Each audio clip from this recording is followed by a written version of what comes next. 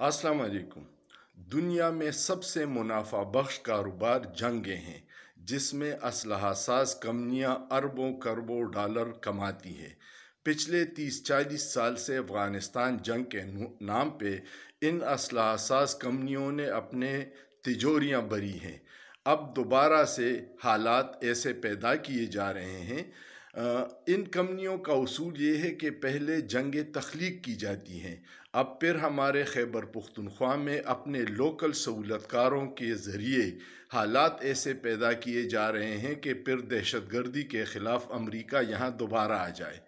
खुदारा जाग जाइएगा।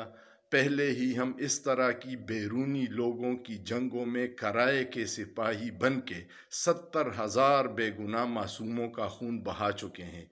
बंद कीजिएगा, हमें अमन चाहिए। यह ख़त्ता अमन को तरस रहा है। सोचिए, सोचना जुर्म नहीं है।